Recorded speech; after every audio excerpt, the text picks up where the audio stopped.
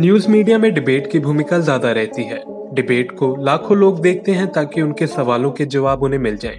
पर डिबेट का मुद्दा ही अगर जनता के सवालों पर ना हो तो? आज देखेंगे कि दोनों तरफ़ के मीडिया, गोदी मीडिया और दूसरे मीडिया ने किन मुद्दों पर अपनी डिबेट्स की और किसने सरकार से सवाल उठाए और असल मुद्दे उठाए। पहले बात करते हैं एनडीटीवी के वरिष्ठ पत्रकार रवीश कुमार की और जानते हैं उन्होंने अपने डिबेट्स किन मुद्दों पर किए। पहला, टीआरपी, रेटिंग का खेल और सत्ता का मेल। दूसरा टीआरपी रेटिंग के फंदे में चैनल की गर्दन। तीसरा, क्या विरोध का दायरा सीमित किया जा रहा है? चौथा मास्क ना पहनने पर, जुर्माना हैसियत के आधार पर। और पांचवा, हाथरस सवाल सरकार से, निशाना विपक्ष पर। रवीश अपने प्राइम टाइम के ज़रिए सरकार की गलत नीतियों पर सवाल अक्सर उठाते रहते हैं। इस बार भी उन्होंने कई अहम मुद्दों पर चर्चा की। उन्होंने अपनी डिबेट के ज़रिए धरना प्रदर्शनों पर आए कोर्ट के फैसले पर चर्चा की। और कुछ अहम बातें भी बताई। शाहीन बाग का धरना 24 मार्च को हट गया था। 7 अक्टूबर को फैसला आ गया। जस्टिस संजय किशन कौल, जस्टिस अनिरुद्ध बोस और जस्टिस कृष्ण मुरारी की बेंच ने फैसला सुनाते हुए कहा, हमें यह स्पष्ट करना होगा कि सार्वजनिक स्थानों पर अनिश्चित काल तक कब्जा नहीं किया जा सकता है। केवल निर्धारित क्षेत्रों में ही विरोध प्रदर्शन हो सकते हैं। सार्वजनिक बैठकों पर प्रतिबंध नहीं लगाया जा सकता, लेकिन उन्हें निर्धारित क्षेत्रों में ही होना चाहिए। निखिल डे, बहुत जमाने से इस बात को रेखांकित करते रहे हैं कि हर राज्य में धरना स्थलों को दूर किया जा रहा है ताकि वो दिखाई ना दे। सचिवालय और प्रेस की नज़र से दूर हो जाए। पहले पटना के मुख्य मार्ग पर धरना हुआ करता था तो आते जाते शहर के लोग देख लिया करते थे। उस रास्ते से मंत्रियों और अधिकारियों का भी आना जाना होता था। अब बेली रोड से हटाकर इसे गर्दनी बाग में कर दिया गया जहाँ पर धरना चलता रहता है, मगर किसी को फ़र्क नहीं पड़ता, क्योंकि वहाँ प्रेस कभी कभार चला गया तो चला गया, मंत्रियों और अधिकारियों का उधर से जाना कम होता है। अब बात करते हैं न्यूज़ 24 के वरिष्ठ पत्रकार संदीप चौधरी की, और देखते हैं उन्होंने किन मुद्दों पर चर्चा की। पहला डीयू में 100 परसेंट कट ऑफ़ क्या बच्चों पर अनावश्यक दबाव बनाया जा रहा है? दूसरा, हाथरस से करौली तक इतना हाहाकार क्यों है? तीसरा, सबसे बड़े आर्थिक संकट को कैसे मात देगा हिंदुस्तान? चौथा, उत्तर प्रदेश की लड़ाई हिंदू मुसलमान से जातियों पर आई। और पांचवा, दंगों में विदेशी हाथ का सच कैसे पता चलेगा? संदीप अक्सर देश में चल रहे मुद्दों पर ही चर्चा करते हैं। इस बार भी उन्होंने आर्थिक संकट जैसे गंभीर मुद्दों को अपनी चर्चा के ज़रिए उठाया और बीजेपी नेता से सवाल भी किए। सबसे बड़ा प्राइवेट सेक्टर बैंक है। एचडीएफसी बैंक की बात कर रही हूँ मैं तो मुनाफे की जो बढ़ोतरी हुई थी जून क्वार्टर में, वो उन्नीस दशमलव पाँच परसेंट थी। एक करोड़ अट्ठासी लाख व्हाइट कॉलर जॉब्स हैं इस देश में। छियासठ लाख की नौकरी चली गई। आप मुझे एचडीएफसी के आंकड़े बता रहे हैं कि एचडीएफसी ने बहुत पैसे कमाए। आम आदमी की बात करेंगे कॉर्पोरेट वर्ल्ड की बात करेंगे यहाँ पर।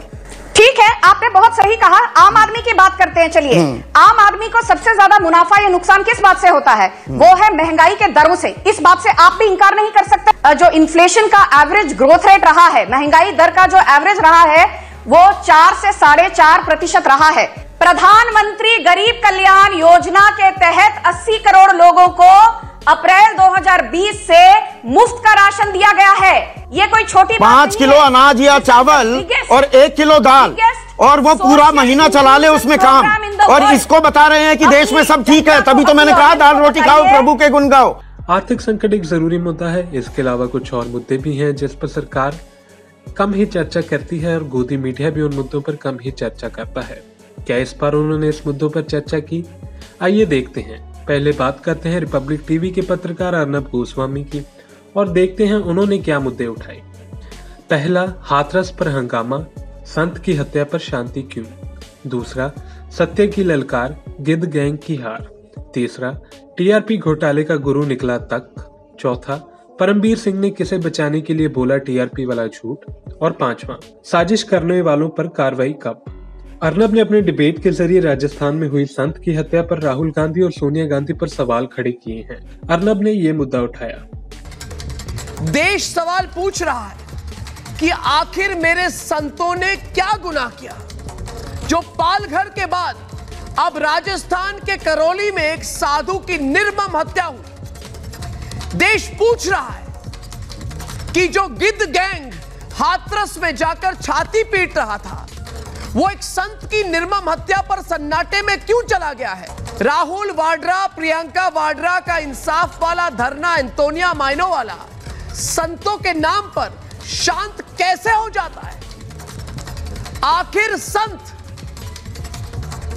और सनातन संस्कृति के नाम पर जनेऊधारी राहुल गांधी का दर्द गायब कैसे हो जाता है? पर यूपी में हुई घटनाओं पर अर्नब का ध्यान क्यों नहीं जाता? उत्तर प्रदेश के दो जिलों, मेरठ और बागपत में दो साधुओं की लाश मिली। इसके अलावा 11 अक्टूबर की खबर के मुताबिक गोंडा में एक पुजारी को गोली मार के हत्या का मामला भी सामने आया है। अब अर्नब योगी जी से कुछ सवाल क्यों नहीं करते? खैर, अब बात करते हैं न्यूज़ 18 के वरिष्ठ पत्रकार अमीश देवगन की। आइए देखते हैं उन्होंने किन मुद्दों पर चर्चा की है। पहला, हाथरस में हंगामा, बालरामपुर में सन्नाटा। क्या सियासी फ़ायदा देखकर विरोध का एजेंडा? दूसरा छप्पन इंच पर असली नकली की लड़ाई, छप्पन इंच वाला नेता कौन? तीसरा, दंगा प्लान पर विस्फोटक खुलासा, कैमरे में कैद प्लान, दंगे का रावण कौन?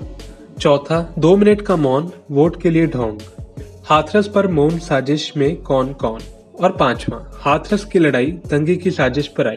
हाथरस बहाना, दंगा था फैलाना। अमीश ने आर्थिक संकट जैसे मुद्दों तो नहीं उठाए, पर जो मुद्दे उठाए, वे विपक्ष पर ही सवाल खड़े कर रहे थे, न कि सरकार पर। राहुल गांधी ने एक बहुत बड़ा दावा कर दिया है। राहुल कह रहे हैं कि देश का प्रधानमंत्री कायर है। उनका दावा है कि अगर कांग्रेस की सरकार होती तो वो 15 मिनट के भीतर चीन के सैनिकों को उठाकर 100 किलोमीटर उठाकर पीछे फेंक देते। इधर राहुल गांधी ने यह दावा किया और उधर कांग्रेस ने ऐलान कर दिया कि राहुल गांधी असली छप्पन इंच वाले नेता है, देश में भैया। यानी सियासी लड़ाई अब छप्पन इंच पर आ गई है। हालाँकि नोटबंदी जीएसटी किसान और कश्मीर से चौकीदार चोर है तक हर बार कांग्रेस और राहुल गांधी को सियासी तौर पर मुँह की कई बार खानी पड़ी है। हाथरस पर भी जमकर सियासत दो दो हाथ सियासी दो दो हाथ हो रहे हैं। लेकिन वहाँ दंगे की साजिश का खुलासा हो गया कांग्रेस भी बैकफुट पर अब नज़र आ रही है। खैर हमारे मीडिया को पक्षपाती नहीं होना चाहिए मीडिया एक स्वतंत्र अदारा है पर पिछले कुछ सालों से मीडिया की ही स्वतंत्रता पर ही सवाल उठने लगे हैं bureau report Punjab today TV If you like our channel, please subscribe and to get notifications about news, please click the bell icon.